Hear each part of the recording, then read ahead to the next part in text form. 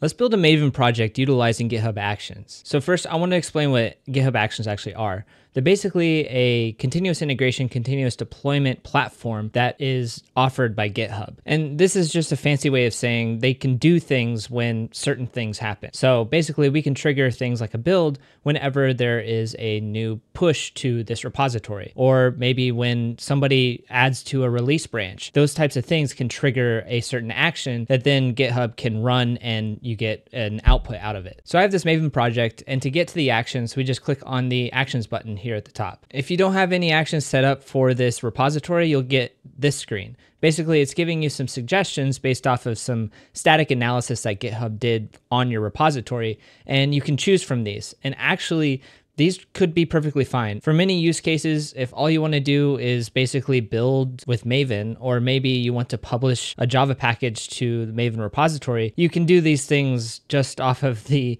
built-in actions that it gives to you. The thing is, people are doing this stuff all the time. So obviously they make standard actions that you can use and just run with. But instead of choosing one of these, which you can definitely do, I'm going to actually go through and create one myself so that we can see line by line what's happening. To do that, I'll go to this button, which is set up a workflow yourself. From here, it opens up an editor window where we actually write our YAML file. YAML is just the configuration file that the GitHub Actions uses. Over here on the right, you can see a marketplace, and these can be some actions that you might want to add to your file here. Things like caching, set up node.js environment. Some of these aren't particularly useful for us because we're using Java. We're not setting up a Node.js environment, but we could download and build an artifact or something like that. The second tab is the documentation tab, and this gives you some basic documentation on how you can configure and set up your YAML file to run your action. And of course, up here, you can also cancel the changes that you might be making, or you could commit the changes if you are satisfied with your YAML file. So now let's get into writing the configuration. So the first line here is the name and that's the name of the action that you're going to be running. I think this is pretty self-explanatory. You'll see the red squiggly line here, and this is just indicating that we kind of haven't finished the the file yet, so it's just waiting for us to actually add something to this file other than just the name. The next line saying on is actually our trigger. This will be what causes the action to actually run, and it's saying trigger on pretty much anything. We could trigger on a push, we could trigger on a pull request, we could trigger on adding labels to uh, the repository or maybe a documentation update, or even if an issue was added to the repository. GitHub gives you a ton of different triggers that you can run your action on. And the idea here with these actions is that you'll have a trigger that triggers some job or multiple jobs, and those will have steps involved with them. And in those steps, you'll do certain things like setup, or you could have some output, and from that output, do something with it. So, like publish to a server. But for this trigger step, we're gonna say on, and then my trigger is saying on any push. Now you can filter these pushes. You could say like only trigger when the main branch gets pushed. And then you can have even more triggers saying like, hey, is this a Java file? If so, then we'll run this build.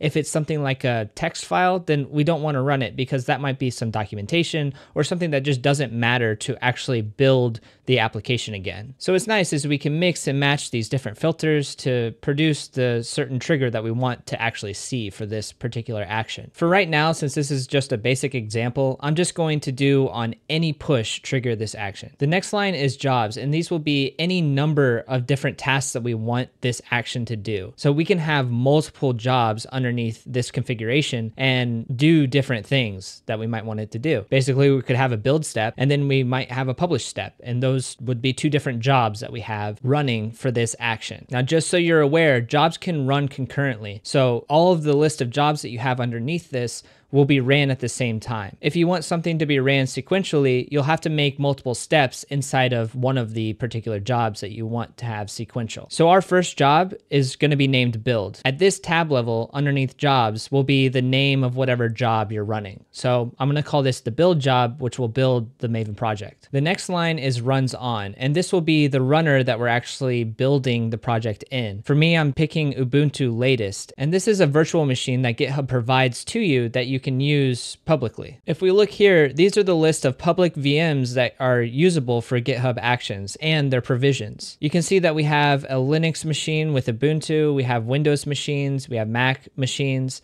and you can use any of these runners that you want in a public repository. You can also use these runners in a private repository. The only caveat there is that you're only allotted 2000 minutes of build time. So basically, when your build is running or when your action is running, you get charged for how many minutes that it's running for. Thankfully, they give 2000 minutes for free, and anything above that incurs some cost. But that's only for private repositories. For public repositories, you're left with the public runners. When an action gets triggered or ran, it gets put into a queue. And the reason for that is they have a limited pool of virtual machines that they can allot to different actions. And the entire public repository database is utilizing those virtual machines. So your action just sits there and waits until a virtual machine is available to you, and then it runs whatever it needs to run. For our case, we'll be running the build. That's how they keep it free for the public repositories and for the private repositories, it just is a limitation. Now, another option for you is to have a self hosted runner. That's where you create your own virtual machine somewhere else, wherever you want it to be,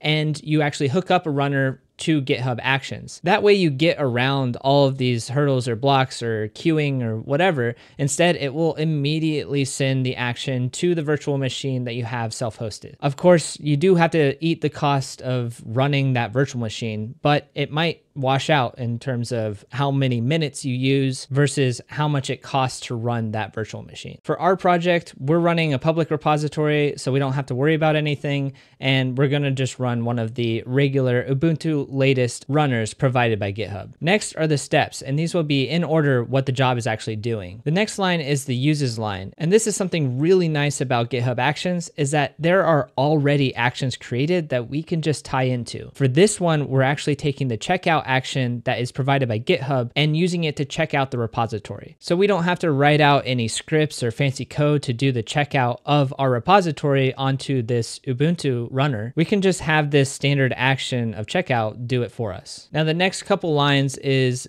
another step. And you'll notice that there are dashes in front of each one of these, and these indicate a step. So these will be ran in sequential order. The first one being this uses step where we did that checkout. The next step being this setup JDK 17. Now I could have had this dash and then name and then say checkout above this uses step, but I don't necessarily need to because this checkout actually has its own steps involved inside of its action. For this next step, I wanted to delineate between the checkout and the actual setup of Java, so I created a name for this step. Again, we're using uses for this particular step, and we're using the action setup Java. This is going to set up Java automatically for us, which is super nice. The next line here is with, and these are configuration options that we have for this action. Each general action like the checkout action or the setup Java action might have some properties that we can set so that we have the setup that we want. The next three lines are the properties that we want to use for the setup. Setup Java allows us to set up a Java version, which we set to 17, a distribution, which we set to the Zulu JDK,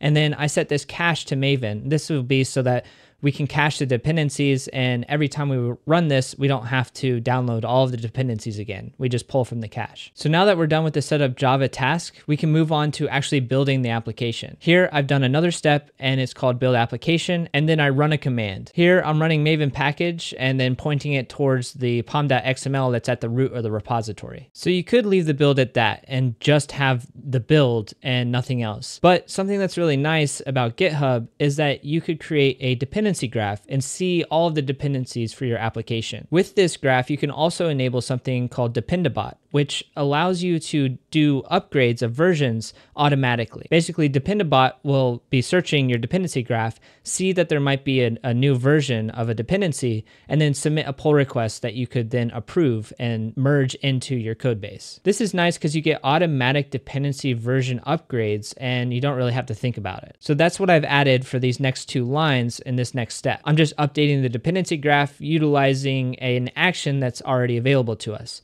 It's called Maven dependency submission action. So now that we're done writing this action, we can go ahead and commit this code. I'm going to go up here in the upper right and hit commit changes. From here, we get a generated message and I'll just leave it at that. And I'll make sure that I'm committing directly to the main branch. Now you can see that the commit went through and I have this new .github folder and inside this folder are my workflows and in the workflows I have the main.yaml. So now we can be in actions and see the action in progress. If I click on my action, you'll see that I actually ran into an error. If we click on the build, it will take us directly to the error so that we can see what may have went wrong. You can see here that it's saying HTTP error resource not accessible by integration. And up here, it's saying that I'm getting a 403 when I'm trying to post to this API URL. Now, this is probably because I didn't give the action the right permissions inside of the Ubuntu runner. So let's go ahead and fix this. I'm going to go to the workflow file and then I'm going to hit edit. Now that we're back in the edit screen, I'm going to add the permission to Ubuntu to allow us to write to the repository. So I've added these couple lines that add the permissions to this job to allow it to write to our repository. So let's go ahead and commit the changes again. And from here, just let it auto-generate and hit commit changes. Now, if we go back to actions, we can see that our action is queued and waiting for a VM to be available to run. And now that we're in the action, we can see that the build successfully ran. If we click on it, we can see all of the steps that we made as well as the ones that were ran from the standard actions that we used. And we can go at a granular level to see everything that's happening inside of the step. So you can see in our build application step that we're running Maven package, and this is the command that we decided upon.